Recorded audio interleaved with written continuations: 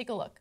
everyone's going to be offended by something so you can't you can't just uh, decide on your material based on not offending anyone but i do think it's important as a comedian as as a human to change with the times to to change with new information. I don't think there's anything wrong with changing with the times. I think it's a sign of being old when you are put off by that. I caught myself a few years ago fighting gay. I say gay, like that's so gay. I just say gay. I have gay friends. I don't mean it like gay. I mean it like it's gay, like it's lame.